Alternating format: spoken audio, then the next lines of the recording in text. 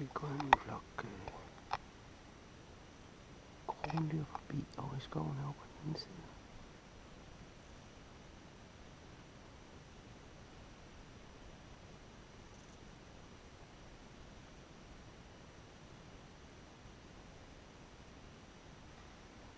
Det Kunne det være fedt, hvis øh, kom lunden lige.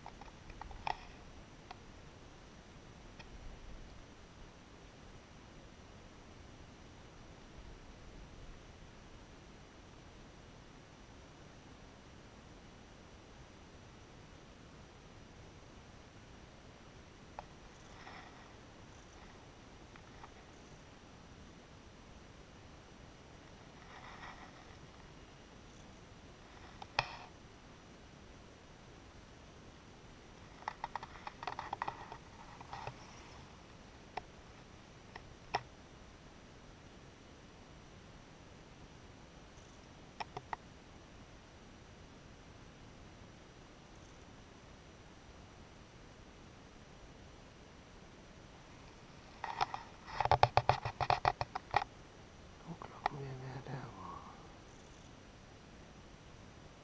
nu begynder de almindelige gæster snart at komme i skoven.